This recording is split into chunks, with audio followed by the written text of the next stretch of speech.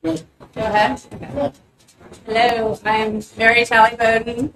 Um, not, my first press conference. I ask you to be nice. I have four very productive, four, four very protective boys that know how to access my Twitter account, and they have no filter. So please be nice. It's hard for me to believe that I'm sitting here. Um, about a week and a half ago, I my frustrations came to a head and sent an email to my patients. And I'm a small practice. I'm a solo physician. Uh, I've been here for two years. I started off with the intention of just doing ear, nose, and throat and sleep medicine, and somehow stumbled into COVID. It was I was just responding to what my patients were asking me to do. They wanted to get tested because they didn't have access to testing. And I found a way to do that. And I never, um, I never rationed testing. I provided access when access was hard to come by. So over the span of the pandemic, I've been open seven days a week. I've tested over 80,000 people, and I have treated about 2,000 people.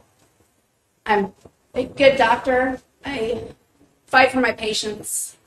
I um, I treat my patients the way I would want myself treated. I've been on the other end of the patient physician relationship as a mom of four boys. I basically spent five years as a patient, five straight years of pregnancy. Um, so I know what it's like. And when I opened this practice, my intention was to treat people the way I would want to be treated as a patient and to treat people the way I would treat a loved one. And that is how I have treated my patients during COVID.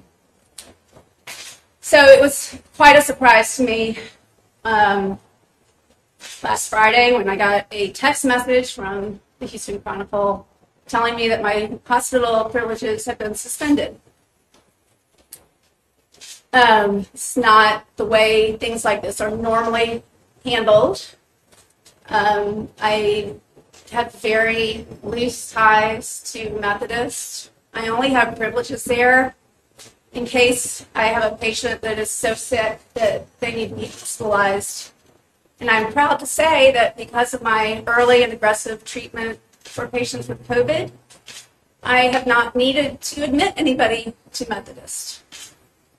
So I'm not quite sure why I became their target, although I think based on their history of being the first hospital in the country to mandate vaccines for their employees, that they are using me as an example based on what they have read, which I have not sent to them, but I've sent to my patients, and I have vocalized on Twitter. But since when is that a reason to take away somebody's hospital privileges, try to take away their license? I'm not saying Methodist is doing that, but there are groups that are targeting doctors like myself that are just simply trying to speak what about what they are seeing. And I have I don't have research papers to back what I'm doing personally. I have tons of data. I have tons of clinical experience. And when I speak out, speak to my patients about what's going on, it's based on my clinical experience and that should be good enough. And I'm not sure in this day and age, apparently it's not. Um, it's astounding to me as a physician that I'm not entitled to my medical opinion. Um, I think this is hopefully uh, it's not how I wanted to be. I would like to go back to my clinic and stop I do not want to be in the media, um, and I do not appreciate the way Methodists handled this. Um, I'm simply trying to help the patients. So, doctor, why hold a press conference? Because my name is being vilified. I have people leaving fake reviews on my on my website, on my all over the media. I have people calling me a sister of the devil and portraying, misconstruing my intentions. So I, I want to set the record straight. I don't feel like I'm getting fair coverage of my side of the story. Dr. Bowden, I guess the issue from a Methodist standpoint and some of the people online is that you're using ivermectin, which has been has not been proven effective by the FDA again against treatment of COVID-19. I guess kind of explain to us why you have used it to treat patients. Well, when I um, did a survey of all the patients that I've treated with monoclonal antibodies, and I asked them what medications they're taking, 30% of them said they are taking ivermectin, which is a large number of people.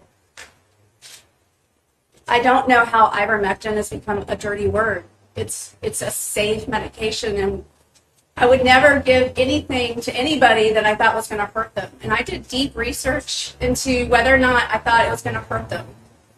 Um, so I stand by ivermectin. I have plenty of people have taken it, and no one has had a serious reaction from ivermectin. Again, it's clinical experience. So the 30% of patients that you surveyed, are they the ones that you treated with ivermectin or others? No, the 30% of the patients that I've treated with monoclonal antibodies all told me they were taking ivermectin at the same time. Dr. what's that story? Where do you go from there? Uh, continue doing what I'm doing. Are you considering any kind of legal action against Methodist at this point? I'm not going to comment on that. Have you had any conversations with anybody at Methodist directly, either? No, no, no. So all Just- of this has happened through social media or what you Well, they have sent me official letters, but there have been no conversations. Do you plan to have any? I'll have to ask the lawyer. I don't know. I don't know. Because Methodist you wouldn't deliver to it. Well, Methodist has touted itself as the example that the rest of the company, uh, the rest of the country should follow in terms of vaccines. But why are they not sharing with us more data? Why do we not know how many breakthrough cases they have? Why do we not know how many patients who have been vaccinated have had side effects? Why do we not know a firm number of patients in the hospital who are vaccinated? Um, so if they want to be the leaders in, in COVID, then they need to share all the data. They also need to perhaps not vilify doctors who are challenging what the vaccine the vaccine movement. Uh, I have a question. So the people that came, you said you treated people for COVID, am I right? Okay, so it, it, that treatment ever included the vaccine, or it was just I tried to get the vaccine to my clinic when it first came out, and I could not get it because I was not a hospital. I basically felt like I was being, I was too small to be worthy, and so I just gave up. So no, I don't, I don't, I don't distribute the vaccine. so I do take that. You wanted to give the vaccine out. Yes, I was on board with it. I tried to get it, and So they you were have- just giving it out to the hospitals, You I have gave up. nothing against the vaccine. Nothing against the vaccine. I don't think there's a one size fits all for the vaccine, but I have nothing against it. There's certainly an important tool against this pandemic.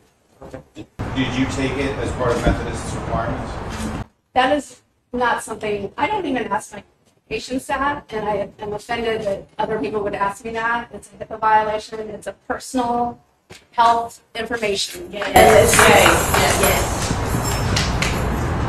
Dr. Bowden, on your website, you said you were a- on staff at Methodist as well as Memorial Hermann Hospital. I have privileges at two surgery centers through Memorial Hermann. Memorial Hermann. Yeah. They- They said you did not have any privileges at acute care At the hospital, no, the surgery centers. service. So you said that you treat thirty percent of your patients, right? Thirty percent, is that right? Thirty percent of your patients were treated of uh, this COVID? Is that what you said? Yeah. Thirty percent? Wait, what? Thirty percent Of what? of your patients were treated, treated of uh, COVID, right? COVID? Is that what you said? Thirty percent? Thirty percent of the patients were treated for COVID. That's what he's trying to Is say. that what you said, right? I don't understand, no, I So don't. So you said 30% of the patients surveyed said that they use um, No, 30% of the patients that I treated with monoclonal antibodies were taking ivermectin at the same time. Not, not from me, just happened to be from other physicians. Oh, but they were not from you. No, well, I mean, maybe some of them were, but I don't know. I mean, a lot of these people just come to me because I allow easy access to monoclonal antibodies. Doctor, you update us on the Fort Worth case and which sort of seems to have sparked all of them. So I have a patient in Fort Worth at the Texas Huguley Hospital, 48 year old man, family, uh, father of six, sheriff's deputy. Um, he's been in the hospital for over a month. He's been on a ventilator for over a month. His wife reached out to me to try to have me prescribe ivermectin because she wanted to try everything she could to save her dying husband. Um, I agreed, and then if she had to have a lawyer get involved because the, ho- the hospital refused. So I testified on behalf of my patient, and we um, won the case. And the hospital was told to grant me temporary privileges and do it quickly. And uh, unfortunately, they decided to stall, and they waited until that Friday afternoon when I sent the email to my patients to tell me that they were denying my requests for for temporary privileges. And this is with I have a clean record. I've never been sued, no complaints. So there was no clear reason why they would deny my privileges. The uh, the lawyers went back to the judge and they said, okay, well, we'll, we'll do the privileges, but with some modifications. We'll only grant you privileges to only administer ivermectin, and you have to come and do it yourself or have a nurse do it. No one on our staff will actually give ivermectin. So I agreed. We did that. Apparently, and then we lined up a nurse to come give the ivermectin. The nurse came to the hospital and tried to get in, and apparently the hospital had issued an appeal, uh, but this was not given to the patient's lawyer yet. So she thought she had her every right to be there, and the hospital called the police on the nurse and had her escorted out of the hospital because she was she thought she was following a court order. We could not clarify what was going on the next day because it was Veterans Day. The following day, we found out there was a stay on the order. Today, that appeal is being processed, so we're hoping to have an answer tonight or tomorrow morning. Patient is stable, but he's still on a ventilator. And you said that the because of uh, the children, Texas Children's uh, the hospital, sorry, uh, because they were the first hospital to mandate vaccines, they were trying to make an example out of you. Can you please elaborate on what you meant by that? I am a solo physician. I have a few thousand patients. I am a flea on the elephant of Methodists. I am not a threat to them. I don't quite understand why they need to single me out with this. They could have suspended my privileges very quietly. Um, but instead, they took it straight to the media. Wouldn't be here right now if it weren't for them taking it to the Houston Chronicle. Um, so I think they're trying to make an example out of me. Um, I think they're trying to show people, okay, if you speak your mind, if you dare challenge the, the vaccine agenda, then this is what happens to you. You stand in front of your clinic with 20 reporters and, you know, they, they beat you down. Do you have an idea how many 200 traveling. And they're all okay? They are all, all alive and well. I had one patient tell me she suffered temporary uh, blurry vision, but she wanted to keep taking it nonetheless. But that's all I've had. Doc, we talked this morning, you talked about what you want methods to now show the public. Right. What do you want them to show? I, well, I want them to show all their data. let's have some data transparency. If they are so confident in their position, let's let's see it all. Let's see complications, complaints. Let's see breakthrough cases. Let's see all their data. Dr. Have you been contacted by the Texas Medical Board in relation to anything that's gone on in Houston specifically? Well, no, not Houston. But there is a there is an online group targeting me, encouraging the public to report me to the medical board. Have you received any correspondence directly from the Texas Medical Board? Yes, regarding the patient in Fort Worth. What do you say to the FDA? Because obviously you, you know, you know that only medicines that are approved by the FDA can be given to patients, but maybe that there's a problem. I mean, it, This is an it, off. Ivermectin is an IV. Is a when I before I started prescribing ivermectin, I went to the original study where FDA approved it for human use, and I made sure to research the, the data the safety. That was the first thing I did. So it is definitely an FDA approved drug. There's a difference. It's an off-label use of an FDA approved drug, which is uh, done very commonly. Um, it's, if you look at the data, the safety data, if you do a literature review of ivermectin and try to find patients that have died from ivermectin overdose, uh, I challenge you to do that. Ma'am, how do you feel about this whole thing? How do you feel about this whole incident, this whole thing? I mean, on the one hand, it's it's very stressful. On the other hand, I have been overwhelmed by the support that I've received. It is not what I expected. I have received support from Switzerland, Australia, all over the world. I think people need. I think people are scared to speak up. And so it's been gratifying in that regard. I mean, I've created a lot of enemies, but I've made many more friends. And so, I mean, I hope something good comes of it. are you a political doctor like the Methodist said?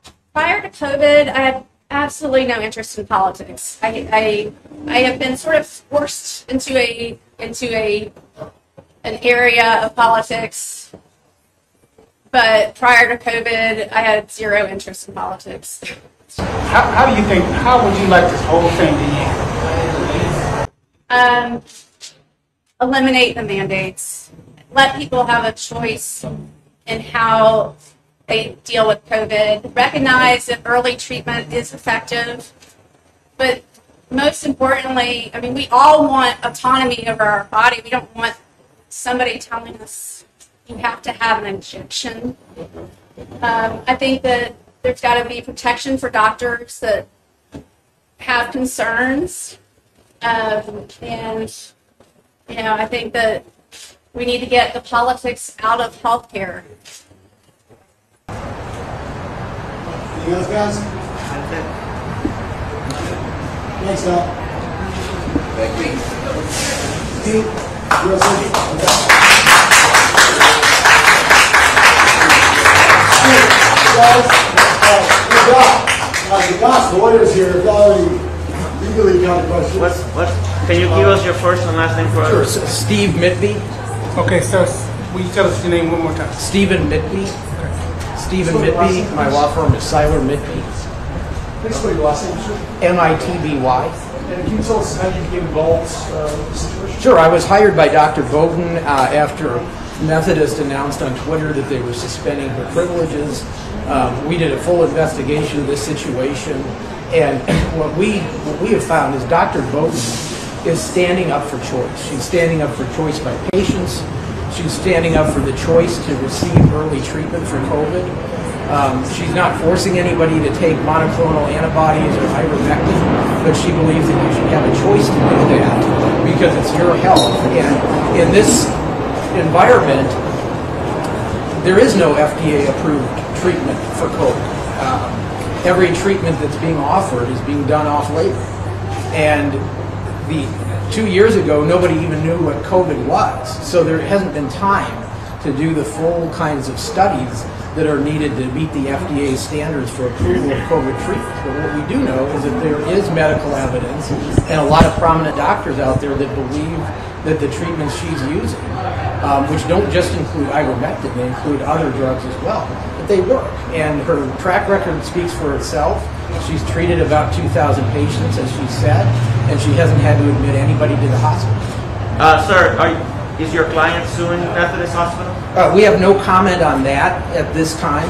Uh, prior to last Friday night, she had a great relationship with Methodist Hospital, and she's proud of the work that she's done with colleagues. You said you did an investigation. What did that look like? We, looked at her track record and what she's what she's done with these patients, and she's been a pioneer in the Houston community in early treatment and keeping people out of the hospital uh, by using drugs. And unfortunately, some in the media have tried to portray her as a quack, as somebody who's offering uh, quack medicine.